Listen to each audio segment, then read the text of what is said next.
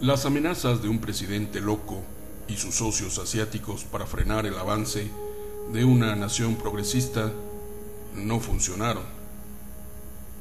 Las sanciones económicas de los perritos falderos de los gringos para frenar el avance de una nación pacífica no funcionaron. Amedrentar enviando a la séptima flota a Corea del Sur no funcionó Anclar submarinos nucleares en Corea del Sur tampoco funcionó. Hacer maniobras conjuntas con Corea del Sur no funcionó.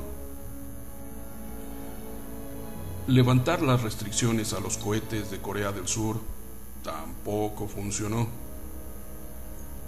Y enviar los aviones más ultramodernos a Japón, pues no, tampoco funcionó.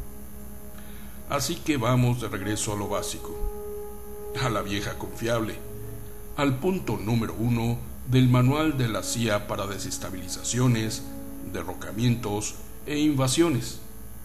Claro, inventar historias que los medios masifiquen para generar descontento mundial en contra de Corea del Norte.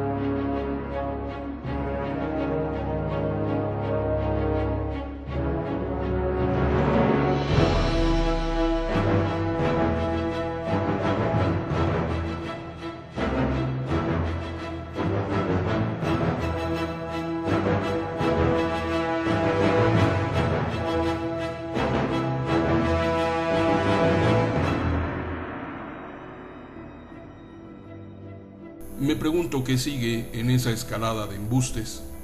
Superbebés norcoreanos, el chupacabras del lado de Pyongyang o legiones de zombies del lado de Corea del Norte.